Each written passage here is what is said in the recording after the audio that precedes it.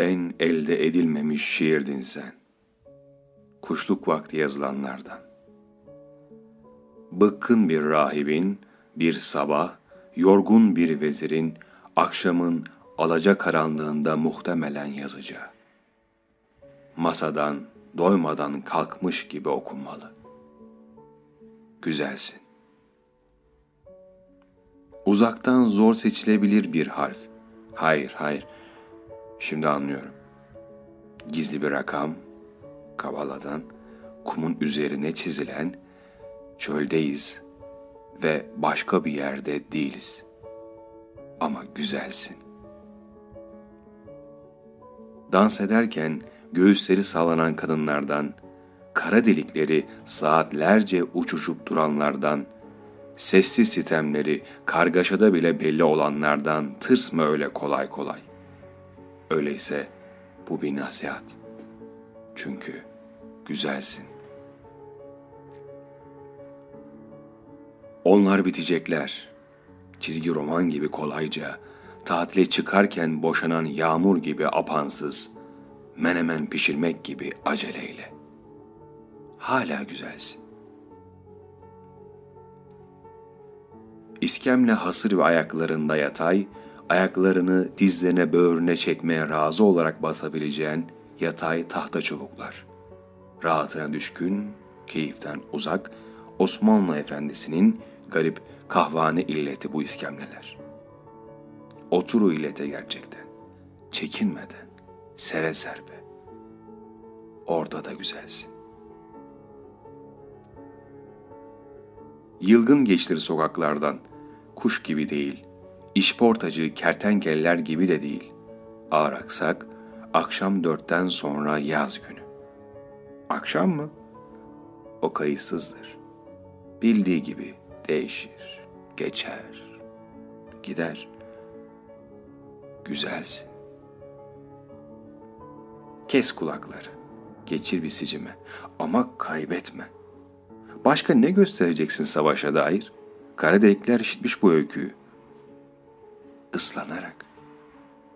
Ama güzeller. Kalp, kalbe karşı. Bir arkadaşın evinde. Çiçekmiş. Hemen uzmanı geçindim. Ah, ah o güneş ister. Ah, bu su asla olmaz. Oysa hiç anlamam çiçekten. Deve tabanını pazı sanabilirim. Neden yaptın bunu? Çiçeğin adı sardı beni. Çünkü güzelsin.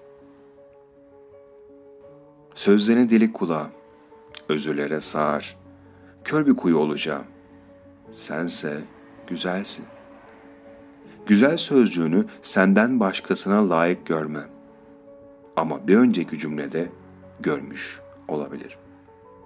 Aldırma. Güzelsin.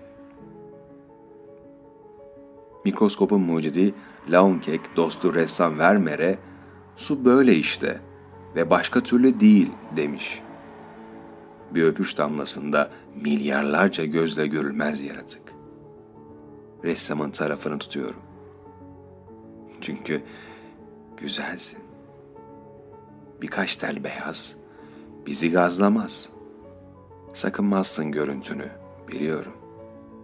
Çünkü güzelsin.